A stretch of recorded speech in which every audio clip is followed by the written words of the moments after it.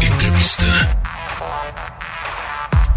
Amigos, en esta ocasión me da muchísimo gusto presentarles a Jasmine Chong, quien es el CEO o directora de VP Gurus, quien nos va a platicar de un concepto y un tema bien interesante que se llama empatía digital. ¿Qué es esto, eh, Jasmine? Platícanos, bienvenida, ¿cómo estás? Bien, bien, gracias. Un gusto saludarte, José Antonio. Pues mira, este es un tema muy interesante y es que la empatía, como tú sabes, es la habilidad de entender y compartir las emociones y las experiencias de otros, en ponerse en el lugar, ¿no? Pero cuando lo llevamos al ámbito digital, pues es considerada como esa aplicación de esos mismos conceptos de empatía, pero en diseños, en un nivel muy básico, en diseños técnicos, para mejorar la experiencia del usuario. Fíjate que nuestro cerebro maneja el concepto cognitivo de la empatía y el concepto también emocional muy intrínsecamente relacionados. Es muy difícil separarlos, pero sí es, sí es importante que el primer paso para la empatía es la identificación. Entonces, actualmente la tecnología lo que hace es que permite, a partir, por ejemplo, de nuestras aplicaciones móviles, un chatbot, ¿no? Que te hace una pregunta, alguna respuesta, permite tal vez identificar tu estado de ánimo. De alguna forma se está intentando y es cuando tú observas que te sientes eh, bien atendido, si el chatbot fue eficiente. No solamente se trata de funcionalidad, se trata también de esta empatía, de sentir que se considera esa interfaz un poco más humanizada. ¿ok? Entonces, las herramientas de software de alguna manera están tratando de ser diseñadas. Ayer vi un tweet donde una empresa de smartphones tiene sus servicios de soporte técnico en varios idiomas, en diferentes canales y también ya está en lenguaje signado. Eso también ya es empatía, porque estamos tratando de hacerle llegar al usuario, eh, pues de, de, una manera más sencilla, la comunicación y que se sienta atendido. Pero ese es un nivel muy, muy básico, José Antonio. Claro, o sea, la tecnología para personas con discapacidad, ¿no? Exacto. Eso puede ser. Ajá, pero el nivel más avanzado es la inteligencia artificial em, emocional, que es en la que yo me encuentro, la verdad es que estoy trabajando con una serie de robots humanoides en las que el más pequeñito hemos tratado de medir el grado de empatía. Ajá, en los niños, eh, y a donde lo llevamos, por ejemplo, a Demos, ¿no? Algunas escuelas, y hemos eh, visto que influye mucho que la, que la cara que tiene el robot, él mide 1,45, se llama Rev, el robot, eh, es como muy de caricatura, expresa emociones, sonríe, entonces los niños tienen un, en un 70% un grado de empatía porque les genera ternura, es como el más este calificativo que le dan. Sin embargo, esto, bueno, pues este pretende pues humanizar un poco las interfaces para que a partir de conceptos de neurociencia, estas neuronas espejo, no sé si han oído hablar de ellas en las que pues el, el ser humano, ¿no? No solamente reconoce señales cuando está haciendo algo, sino cuando observa, ¿no? Es cuando alguien bosteza y el otro bosteza es el ejemplo ¿no? de, la neurona espejo, pero esto ha permitido que sean las neuronas, dicen que hay una teoría donde las neuronas espejo son las responsables de la empatía. Entonces, la, neurociencia tiene un, un, punto fundamental en esta creación de, de la nueva inteligencia artificial emocional, porque de alguna forma no solamente está permitiendo identificar el estado de ánimo, que es el nivel básico, cómo está la persona, si está contenta, triste, a partir de reconocimiento de rostros, por ejemplo, o reconocimiento de la voz. Esto va, va, a generar en aplicaciones diversas, tú acabas de mencionar algo, ¿no? Para la discapacidad, un apoyo a esa población autista, por ejemplo, de que no puede reconocer a lo mejor las emociones en sí mismo o en los demás. Entonces, la inteligencia artificial emocional está teniendo usos inicialmente, y como siempre, en el marketing. Ya sabes, el neuromarketing que lo que trata de influir es que, por ejemplo, ¿no? Hay estadísticas que te dicen que las la mayoría de los comerciales tienen mejor influencia si son emocionales, que si te cuentan una historia, ¿no? Generalmente no te venden un automóvil eh, con las funcionalidades, sino te cuentan la historia y el perrito, la familia, etcétera. Eso tiene mayor impacto en esta, en estas mediciones que se hacen eh, a partir de la neurociencia para poder comunicar el mensaje. Entonces hay aplicaciones ¿no? en, el, en el neuromarketing, por así decirlo, que están teniendo fuertemente un impacto y es ahí donde mucho el concepto de empatía digital se atora. Pero no, va más allá, va más allá de una cuestión, por ejemplo, médica, donde hay sensores ya desarrollados en el MIT, en donde, por ejemplo, pueden detectar los latidos de tu corazón, cómo está toda esta cuestión física de oxigenación y te pueden mandar, sí, las clásicas alertas al servicio médico, pero sobre todo están detectando tu estado de ánimo para mandar aromaterapia. ¿Cómo ves? Están generando que, de alguna forma te sientas como más contento o más relajado en estos niveles de estrés que estamos manejando. Bueno, pues es, es una aplicación interesante. Otro tipo de aplicaciones allá en Estados Unidos, yo admiro a muchas mujeres, ¿no? La doctora eh, eh Rana de, de, de la organización efectiva Fíjate que ellos generan aplicaciones para entender, a, hacerle la transformación digital algo más humanizado. Y tienen, por ejemplo, en la industria automotriz, eh, pues algunas cámaras y sensores que permiten detectar el estado de ánimo del conductor. Entonces, no solamente es para decir, oye, pues está, está triste, ¿no? O enojado, sino para decir, está cansado, tienes que parar, te estás durmiendo, ¿no? Estás somnoliento, hay agresión, por ejemplo, ¿no? Eh, hay agresión, eh, hay cosas, eh, si hay una familia, si es un servicio de taxis, pues puede mandar ciertas alertas.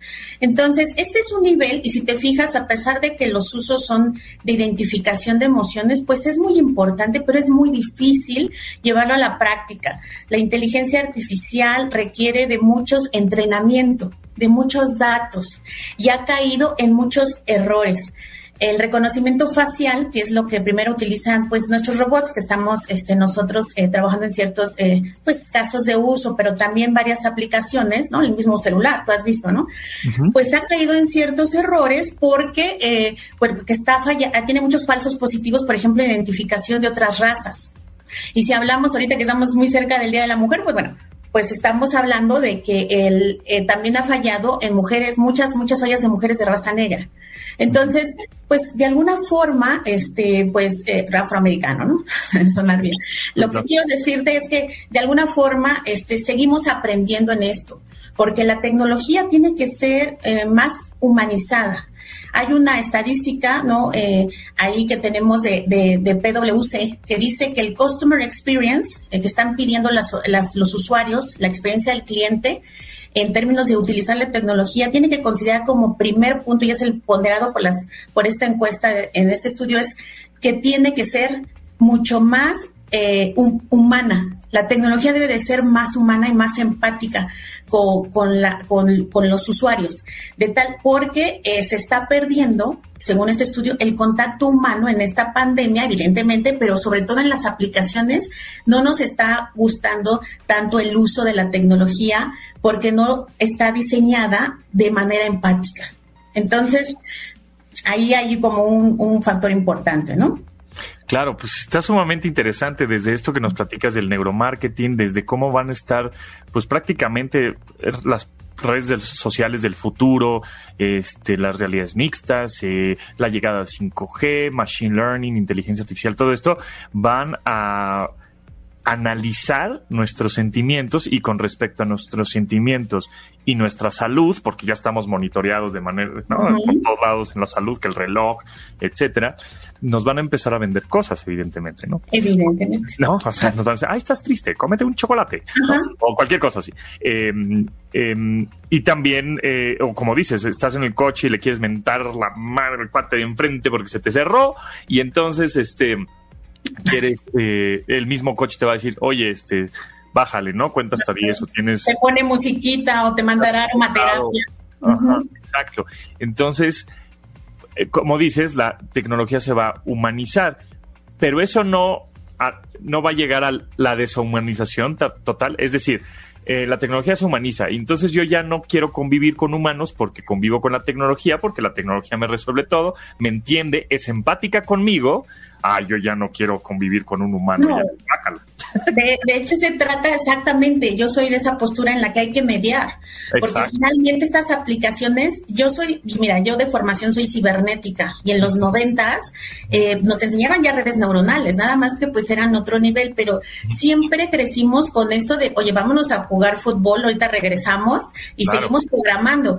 La realidad, ese balance, equilibrio. el equilibrio es necesario y aparte es una de las tendencias que nosotros tenemos en la organización Nosotros sí trabajamos con, eh, con principios que lo que favorecen es pues el contacto humano. O sea, nosotros somos una organización, fíjate, somos 80% damas las que estamos trabajando en la empresa. y entonces eso tiene como un estado emocional, pero el balance es necesario y es indispensable. Y más bien lo que tratamos de hacer es que la tecnología no sea intrusiva, que sea natural, de tal forma que te sientas a gusto con ella, pero sigas tu vida normal. Estoy de acuerdo contigo. Sí, creo que ese es el punto que vamos a llegar en el por ahí yo calculo 2030. Hay que irlo trabajando desde ahorita, pero para que en eso en ese año ya sea un equilibrio en donde veamos la tecnología parte de nosotros, pero ni tanto ni, ¿no? O sea, ni el exagerado, ni caer en este vicio este, de un lado y tampoco del otro, porque pues tampoco podemos ser 100% análogos porque la tecnología ya está aquí. O sea, tenemos que usarla y tenemos que eh, convivir con ella y en todos los aspectos, aunque seas eh, muy geek o muy tecnológico, tu empresa se dedica a la tecnología, que bueno, pero hay, hay empresas, personas que no, que, que en realidad no, no venden tecnología, pero están relacionadas con la tecnología porque son las herramientas de su, de su chamba. Exactamente. Híjole, pues está sumamente interesante esto de empatía digital y creo que es algo que tendremos que ir reflexionando para entender este equilibrio y ver justamente que en un futuro no muy, no muy lejano, pues la neuro, el neuromarketing, de la neurociencia, las redes estas eh, neuronales, machine learning e inteligencia artificial, de alguna manera, pues no, no va a ser tan difícil enamorarnos de un robot, ¿no? Ahora. Pues esperemos que, que sí, yo digo que sí, porque es maravilloso eh, lo que el ser humano es, ¿no? En toda su totalidad. Pero mira, qué interesante también que está generando nuevas fuentes de trabajo y pues según datos duros, eh, la inteligencia artificial en Latinoamérica puede pues eh, sumar un 5% a la economía latinoamericana, ¿no? según el Banco Interamericano de Desarrollo. Entonces, también es esta participación de más jóvenes trabajando en estas áreas de inteligencia artificial Actualmente solamente 26% de mujeres a nivel mundial participan en inteligencia artificial, entonces también es, es que genere otro tipo de usos mucho más empáticos que las mujeres nos distinguimos a veces por esto que se practica, ¿eh? la inteligencia eh, eh, emocional, este factor empático es, es este, no es un, no es como el coeficiente intelectual que es fijo, no, esto se puede modificar también en los seres humanos y si creamos tecnología, si creamos algún proyecto tecnológico que favorezca la empatía, tú también estás siendo empático, porque estás aprendiendo a convivir para hacerlo con los demás. Entonces tiene mucho de tema de dónde, de dónde tocarse y esta, esta inteligencia artificial emocional pues también tiene sus repercusiones eh, pues en el sector educativo, ¿no? el que tenemos que trabajar fuertemente. Totalmente de acuerdo. Jasmine Chung, CEO de VP Gurus, muchísimas gracias. ¿En dónde te podríamos eh, seguir? Redes sociales, mail, claro. net. Mira, nosotros estamos en bpgurus.com, ese es el sitio, ahí pueden ver todos los blogs y toda la información que estamos liberando, tanto de nuestros servicios ahí, capacitación y, la parte de robótica.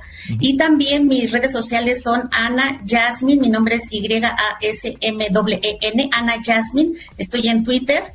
Y este, y pues ahí también me pueden encontrar en LinkedIn, con mucho gusto, pues estamos para servirles y pues muy contenta de colaborar contigo. Buenísimo. Pues Jasmine, muchísimas gracias. Jasmine Chong, CEO de BP Urusa. Estaremos muy al pendiente. Igual, este, en una de esas te vienes otra vez y platicamos más de estos temas que están súper interesantes. Claro que sí. Y pues hasta podemos ahí llevarles, bueno, platicarles y que tú veas cómo está el robot y que les puedas, ¿no? Ahí escuchas. Pues muchas gracias por, tu, toda la colaboración. Gracias. Gracias, Jasmine. Nos vemos. Bye.